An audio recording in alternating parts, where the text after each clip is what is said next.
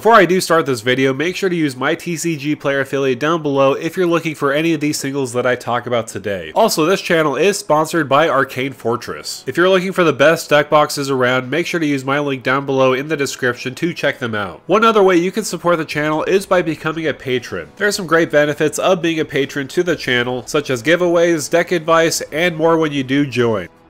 Hey, what's going on YouTube? This is Devin coming back at you with another video today on PubStomp MTG, and in this video today, I'm going to go over Satya Aetherflux Genius as a commander itself. I'm not focusing on a commander pre-con upgrade with this specific video. I wanted to build this commander completely from scratch because it's absolutely powerful at what it does, and I'm actually pretty interested in building myself because a lot of different strategies can take place with this commander. So let's first read what it does. So for one blue, red, and white, it's a legendary creature, human artificer, menace, and haste. It does have a 3 3-5 body whenever it does attack. Create a tapped and attacking token that's a copy up to one other target non-token creature you control. You get two energy counters at the beginning of the next end step. Sacrifice that token unless you pay an amount of energy equal to its mana value. So the reason why I do like this is because I love tokens, I love ETBs, I love death triggers, and this just kind of fits the bill perfectly. And I am going to talk about some energy support as well, mainly because we're an energy deck. We might as well store those counters so that we can keep some of those cards that we did put on the battlefield. So with that said, let's get started.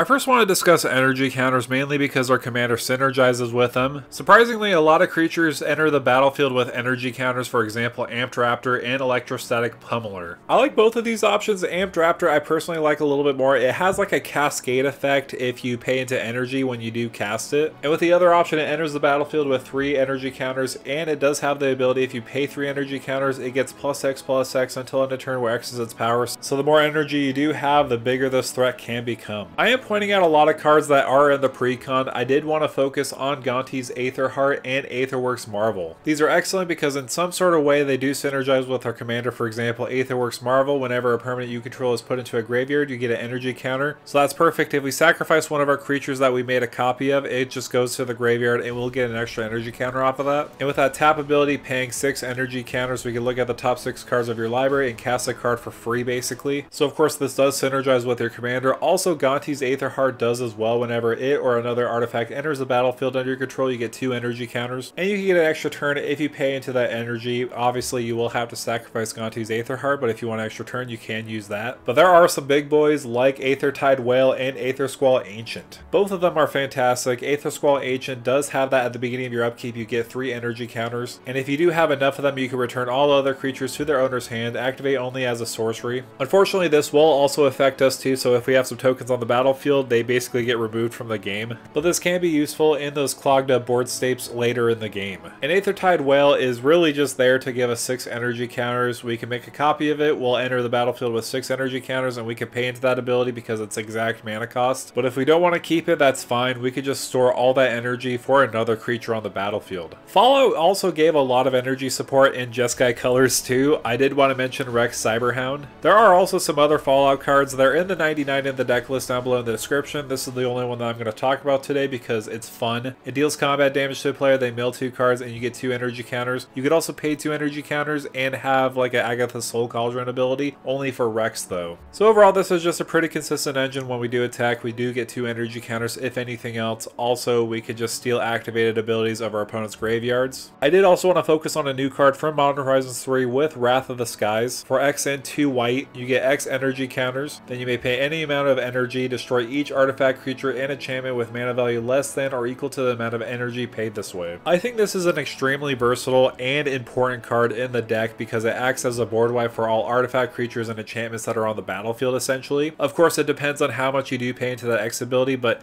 say for example you have 10 mana, you pay into that X ability, you get 10 energy counters, you don't have to pay the 10 energy counters. If you wanted to pay 3 energy counters to destroy like part of the board, you can do that and keep the rest of the energy. There is another fun option that you can take advantage of with a new Modern Horizons 3 card, and that's Volatile Stormdrake. This is going to be a fun card mainly because we can steal somebody's creature, of course depending on if we pay into the energy counters, but when we do, we can just take that creature on our side of the battlefield, make a token copy of it with our commander when we do attack, and so this is again just a fun way where we can get energy and also use our opponent's creatures against them. But now let's take advantage of ETB triggers when we're making extra token copies with our commander. We could get extra ETB value. So of course, obviously you could add in Dockside Extortionist. Okay, that's the boring answer. Let's focus on something else. A more fun answer, however, would be Terror of the Peaks, one of my favorite cards of all time. A Warstorm Surge effect will be brilliant in this deck, whether we make a token copy of Terror of the Peaks or another creature, we could just blast somebody in the face. And of course, the more copies of Terror of the Peaks we do have on the battlefield, the more we're going to just blast everybody in the face, and I absolutely love that. But when we are making token copies, we might as well include some token doublers, for example, Ojer, Taq, Deepest Foundation, Mondrak Glory Dominus, and Anointed Procession. That way when we make a token copy of a creature, we can make an additional copy, and then get some extra value if they do have ETB or death triggers. Because our commander is from Kaladesh, I would be remiss if I didn't put in the Gearhulks. Each one of these are fantastic in the deck, each have great ETBs. Cataclysmic Gearhulk is removal. We can cast a free spell from our graveyard with Torrential Gearhulk. And lastly, with Combustible Gearhulk, we could draw cards or deal a lot of damage to our opponents depending on what they choose. Any one of these would be a perfect card in the deck. I did want to mention Felidar Guardian, another card from Kaladesh. When this enters the battlefield, you exile another target permanent you control, then return that card to the battlefield under its owner's control. Again, if we do have a lot of ETB creatures in this deck, we could copy this card with our commander and then get an extra ETB off of something else too. So that is pretty good utility. Another great card I did want to highlight is Moonshaker Cavalry. This one is an expensive card, mostly mana cost wise. When it enters the battlefield, creatures you control gain flying and gets plus X plus X until end of turn, where X is the number of creatures you control. It can be a great late game finisher if you have a lot of tokens on the battlefield. You could just play a Moonshaker Cavalry and then make an extra token copy when you do swing in with your commander, basically buffing them up twice and give them double flying for some reason. But now let's focus on another cycle of cards with the Cavalier cycle, Cavalier of Dawn, Cavalier of Flame, and Cavalier of Gales. These three are probably the most synergistic out of the rest of the cards that I talk about today because they do have an ETB trigger and also a death trigger. For example, Cavalier Dawn does remove a target permanent on the battlefield and they make a 3-3 golem creature token on the battlefield and if it does die you return a target artifact or enchantment card from your graveyard to your hand. Cavalier of Flame, my personal favorite, can give your creatures plus 1 plus 0 and haste and when it does enter the battlefield you discard any number of cards and draw that many cards and when it does die it deals X damage to each opponent and each planeswalker they control where X is the number of land cards in your graveyard. And lastly with Cavalier of Gales, it has the ETB of a Brainstorm and when it does die you shovel into its owner's library then scry 2. So again very synergistic with our commander. We want to get ETB triggers and if we don't want to keep the token on the battlefield by paying the energy counters on them we could just let them die. And after just saying that it just kind of makes me sad just letting things die but the death triggers are too good. Speaking of death triggers I feel like this is pretty fun to talk about and knowing that it's in Jeskai color combination and no black mana is going to be used in this deck. I first want to point out Reefworm. This is an incredible death trigger. So this one will scale with the game. If Reefworm does die, you're going to make a 3-3 on the battlefield, and if that 3-3 died on the battlefield, you make a 6-6, and then when the 6-6 dies, you'll make a 9-9. With us swinging with our commander and not paying into that energy cost, sacrificing Reefworm, we can consistently make those fish tokens and eventually make it up to those 9-9 Kraken tokens. And of course, if we do have those token doubling effects, this will just get exponentially crazy. Another example of death triggers would be Wurmcoil Engine. This has an incredible death trigger of making two 3-3s, one with lifelink and one with deathtouch. This on the battlefield though, with deathtouch and lifelink with a 6-6 body is going to be incredible. If we do make an extra token copy of it, we could swing away, get some life gain with that 6 damage, and then go ahead and make those worm tokens. Another fun option that will disrupt our opponents is Balor. This has an incredible death trigger. It also does have an attack trigger. So on attack or dice trigger, target opponent draws 3 cards, then discards 3 cards at random. Target opponent sacrifices a non-token artifact, and Balor deals that much damage to target opponent equal to the number of cards in their hand. So if we're constantly having this die the extra token copy, we could just really screw with each of our opponents. Of course, if we really want to apply some serious damage, Flaming Tyrannosaurus is excellent for that job. We're not really casting things from exile. I mean, if we do have some of that synergy, we could easily do that and deal 3 damage and continuously buff up Flaming Tyrannosaurus. But I mainly like it for that last ability whenever it does die, it deals damage equal to its power to each opponent. So if we have this on the battlefield with our commander, each time we swing away with it, we can make an extra token copy, then later on we can just deal 5 damage to everybody in the face. And that's what I call extreme value. Other death trigger cards I did want to to highlight are the Kamigawa dragons like Ao, Atsushi, and Kairi. Each of these do have those modal options when they do die. Ao has the biggest text of them all. Look at the top 7 cards of your library, put any number of non-land permanent cards with total mana value 4 or less from among them onto the battlefield, or you can put 2 plus 1 plus 1 counters on each permanent you control that's a creature or vehicle. Atsushi will get you 3 treasure tokens or exile the top 2 cards of your library, and then Kairi, when it does die, return any number of target non-land permanents with total mana value of 6 or less to their owner's hands, or mill 6 cards and return up to 2 instant or sorcery cards from your graveyard to your hand. So the one big downside though is the fact that they are legendary, but really we're going to get the death trigger nonetheless when we do attack with our commander. But each of these have super powerful death triggers and that's why I did want to include them in the list. But this is also an aggressive deck. We want to attack with our commander so that we can make extra token copies of creatures we do have on the battlefield that are swinging and hitting our opponents. So again, going to another cycle of cards, the Ancient Dragons are going to be another great fit in this deck. Ancient Gold Dragon will make a lot of tokens on the battlefield for us. Ancient Copper Dragon will make a lot of treasure tokens, and Ancient Silver Dragon will give us a lot of card draw. So with our commander out, we could swing away, make an extra token copy of one of these, get some extra value. In a weird way, this kind of feels like pseudo haste, like if we have a creature go onto the battlefield, we could just swing in with our commander, make an extra token copy that's attacking. But again, these are going to be game warping depending on what you roll. But if you do want to get into some infinite combats, there are some various cards that you can take advantage of. For example, Combat Celebrant, Port Razer, and Lightning Runner. And each in their own way will have a specific scenario where you need some setup. For example, with Combat Celebrant, you need to have a way to give it haste so that you can exert it, so that you can untap all creatures you control, and then have that extra token copy enter the battlefield so that you can exert that one and go back and forth until you basically get infinite combats that way. With Port Razer, it's not as complicated. Of course, you do need to connect with each Port Razer you do make a token copy of, and in that way you could get an additional combat phase for each one you do make and swing away and connect with. And the one that would need the most setup would actually be Lightning Runner, mainly because when it attacks, you get two energy counters, then you may untap, pay eight energy counters. If you pay untap all creatures you control after this phase, there's an additional combat phase. You are halfway there with Lightning Runner and Satya producing four energy counters. All you really need to do is to make four energy extra, so whether that be by swinging in with creatures that make four total energy, or if there's a creature that has a big ETB like that one whale, where it makes like a lot of energy, you can make a copy of that with Satya's ability on every single combat. So with that, that's pretty insane. There's three ways where we could possibly get infinite combats. Of course, they're very specific scenarios, and I don't think they're going to be likely coming up that much unless you're talking about Port Razer.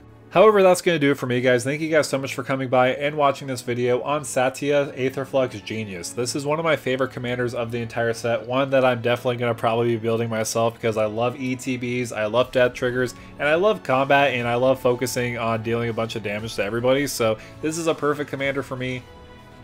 Let me know down below in the comments what are your thoughts and opinions about this commander. Do you plan on building it from scratch or buying the precon itself? I would love to hear your thoughts down below. Also make sure to like, share, and subscribe to the channel. And with that out of the way, thank you for stomping by.